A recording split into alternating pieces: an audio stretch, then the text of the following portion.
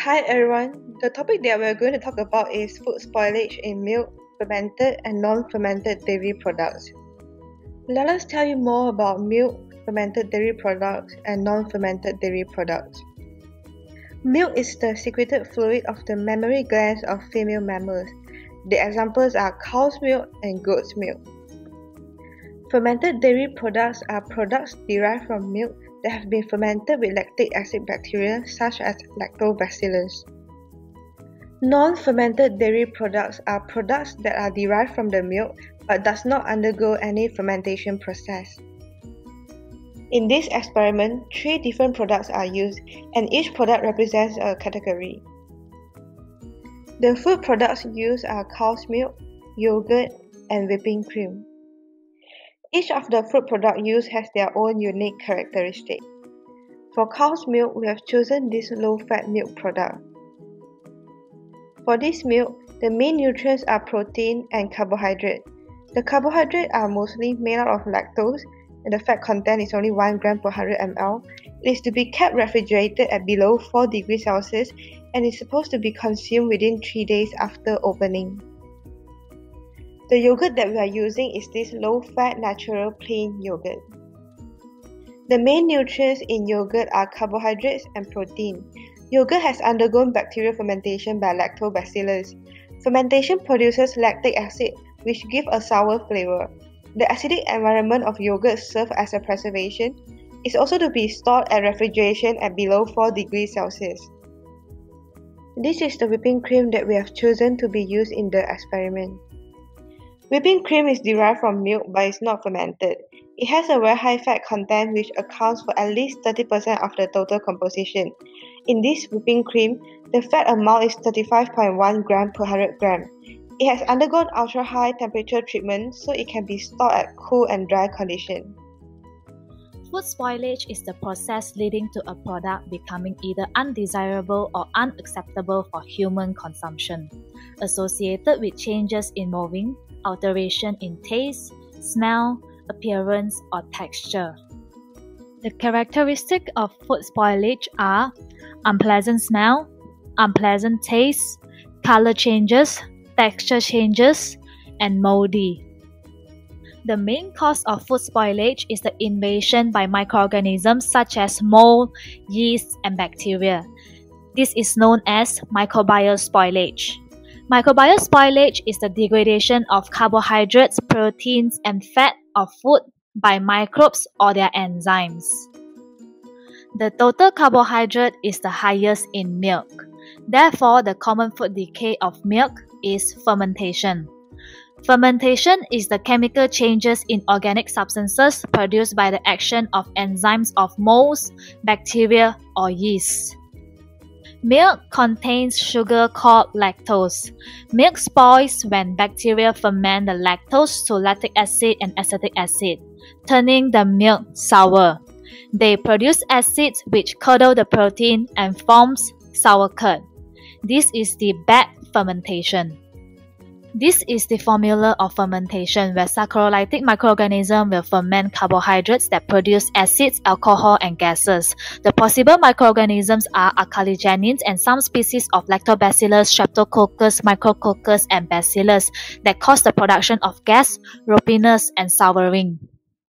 When all the lactose is used up, there will be putrefaction, as milk is high in both carbohydrates and protein.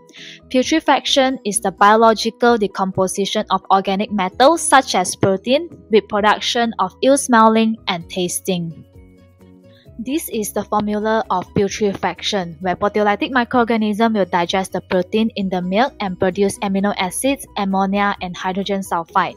The possible microorganisms are Pseudomonas putrefaciens and Pseudomonas fluorescens that contribute to the formation of brown milk. Other than Pseudomonas putrefaciens and fluorescens, Pseudomonas aeruginosa is also the possible proteolytic microorganism that cause the spoilage of milk. Yogurt production uses two main bacterial cultures, which is Lactobacillus bulgaricus and Streptococcus thermophilus. Both of these bacteria are lactic acid bacteria that will produce lactic acid during normal growth. Generally, yogurt has longer shelf life as compared to milk. This is because during the fermentation of the production of yogurt, lactic acid produced will result in a decrease of pH of the yogurt. Lactic acid bacteria can tolerate acidic condition generated. However, growth of other bacteria may be inhibited, therefore prolong the shelf life. The total carbohydrate in yogurt is the highest. Therefore, the common food decay of yogurt is fermentation. In this case, bad fermentation. Yeast and mold are the main spoilage microorganism of yogurt. This is because the high acidity of yogurt inhibits growth of many bacteria.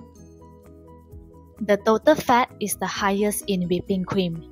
Therefore, the common food decay of whipping cream is rancidity. Rancidity happens when fats undergo deteriorative changes with time which result in undesirable flavor and odors. This is the formula of rancidity, where the lipolytic microorganism will digest the fat in whipping cream and produce fatty acid and glycerol. This causes the whipping cream to curdle and develop a distinct sour smell. The possible microorganisms responsible for the spoilage of whipping cream are Clostridium species and coliform bacteria. Next, there are some parameters or tests that can be taken to detect and identify the particular spoilage microorganism in these food products. To detect the presence of saccharolytic microorganism in spoiled milk such as Alcaligenes species and streptococcus species, some of the indicators are studied. Indicators of Alcaligenes species are they ferment galactose, catalase positive, alkaline with litmus milk test, and are negative on hydrogen sulfide test. Next, detections of Streptococcus species can be done by identifying the type of hemolysis on blood agar. Blood agar is made up of tryptose and 5% sheep blood. Firstly, alpha hemolysis appears as a zone of partial hemolysis surrounding the colony, often accompanied by a greenish discoloration of the agar. Example is Streptococcus pneumonia. Second, beta hemolysis gives a clear red blood cell free zone surrounding the colony, where there is a complete lysis of the red blood cells.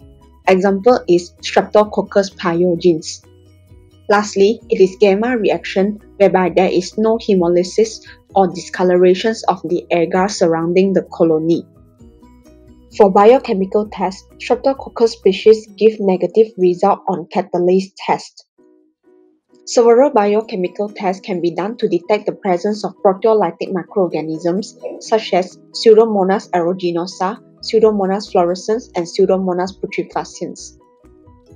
The first biochemical test is the catalase test. The presence of Pseudomonas species is indicated by the positive test as bubbles are produced.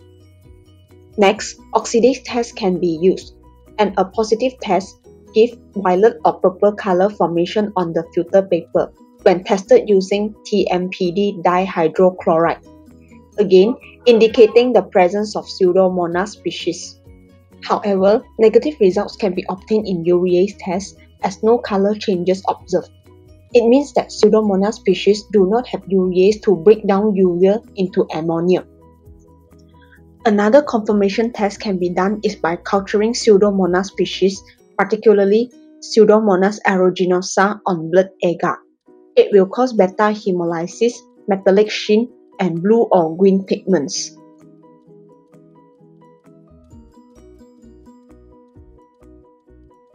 To detect yeast and mold in spoiled yogurt, the appearance can be observed using naked eyes.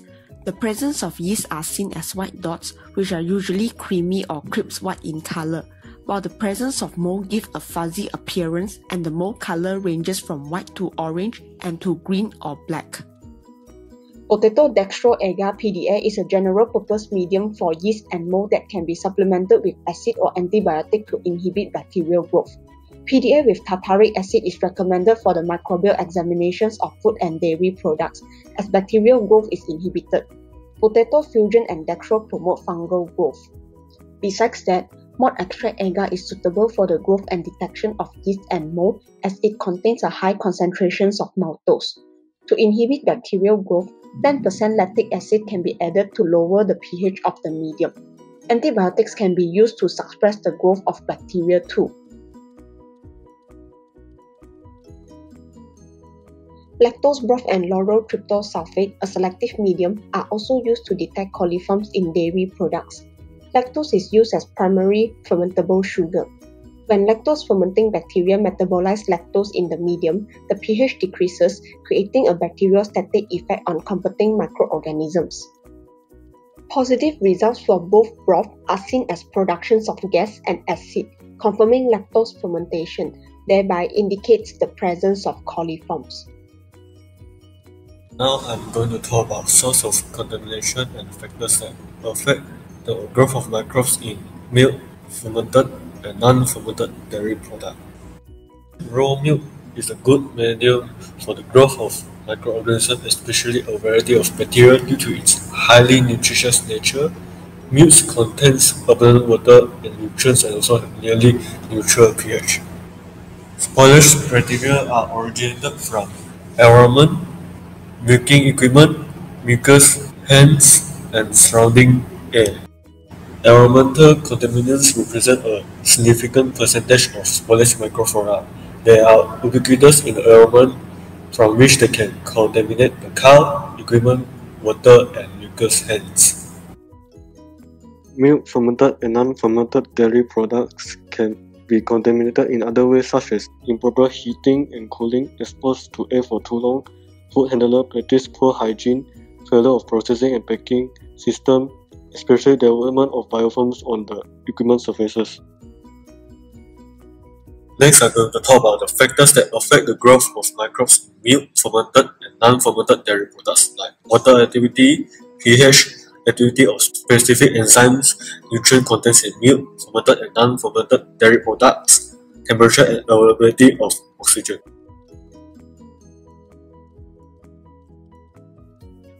Each microbes have their own optimum temperature and pH. As the temperature and pH increase, exceeding their optimum, the growth of microbes will slow down and inhibited as well as the activity of enzymes also slow down due to denaturation. Each microbes have their optimum water activity in order to survive. If water activity is to reduce, the growth of microbes inhibited due to insufficient moisture. Microbes also require oxygen to grow. If the oxygen availability decreasing, the growth of microbes also inhibited. So how do we prevent spoilage of the products? Let's look at the preservation techniques on the particular microorganisms for milk, yogurt, and whipping cream. One of the techniques to preserve milk is by pasteurization. It is a process of heating food to a specific temperature for an amount of time and then immediately cooling it after it removed from the heat. It is to inactivate the bacterial pathogens to assure longer shelf life of the milk. An example of pasteurization of milk is by doing heat treatment under 72 degrees Celsius for 15 seconds or 63 degrees Celsius for 30 minutes. Although it does not kill all vegetative bacteria cells or spores, it slows down the spoilage of the milk. Second technique to preserve milk is by sterilization. It is the process which eliminates and kills all forms of microbial life including transmissible agents. It can be achieved by applying heat, chemicals, irradiation, high pressure infiltration, or a combination of the techniques as mentioned. One of the examples of sterilization milk is done by UHT. UHT can be done with a temperature of 138 degrees Celsius for a minimum of 2 seconds. Another technique is by cooling the milk. Cooling can prevent growth of bacteria in milk and maintaining its quality for domestic consumption or during transport to stores destinations. For example, milk can be stored at mechanical refrigeration or cooling tanks between 1 and 4 degrees Celsius to ensure good milk quality. However, refrigeration does not reduce bacterial numbers as it only slows down their growth. So it is advisable to consume the milk as early as possible before the expiry date.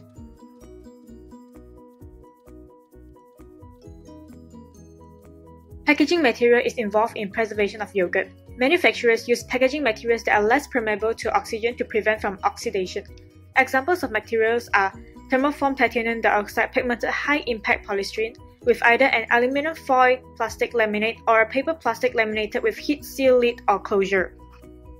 For drinking yogurt products, They are packaged in PEHD bottles sealed with either aluminum foil laminate heat seal closures or with PELD caps. The materials of packaging are very important to yogurt preservation because once oxygen is in contact with the yogurt, yeast and molds are susceptible to the growth, leading to spoilage of the yogurt. Heat treatment are also used in preservation of yogurt. Yogurt mixes are heated to a temperature typically 85 degrees Celsius for 30 minutes. It is to destroy all pathogenic bacteria, to inactivate all the enzymes that may be present in the milk including lipase, destroying most of the spoilage causing bacteria including thermodurics and most importantly to denature whey proteins that are beta-lactoglobulin and alpha-lactalbumin. pH plays a role in preserving yogurts. During fermentation, bacterial culture were added. The acidophiles such as the live cultures used in yogurt fermentation can survive in low pH. Lactic acid increases the acidity of the final product. The amount of lactic acid present in low pH levels is ideal for yogurt. Hence, low pH prevents spoilage of the yogurt against other undesirable strains of bacteria because they cannot grow well in the condition.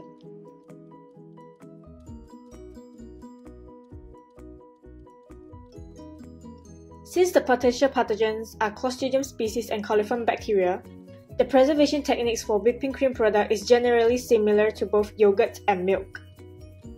Pasteurization is done to eliminate pathogens and to destroy microorganisms that are pathogenic or cause spoilage to the products. The application of pasteurization can be done with heating the whipping cream for not less than 70 degrees Celsius for 20 minutes or 60 degrees Celsius for 30 minutes. Sterilization can be also done at 138 degrees Celsius for at least 2 seconds which is known as UHT and then immediately cool. Both sterilization and pasteurization done are effective in killing coliform bacteria and eliminating spores of Clostridium species. Packaging material is important to preserve the whipping cream. The product is integrated with aseptic packaging in sterile containers after sterilization. The packaging material must be entirely non-permeable to oxygen to prevent slightest chance of growth of pathogens in the food product. Furthermore, cooling can help preserve whipping cream.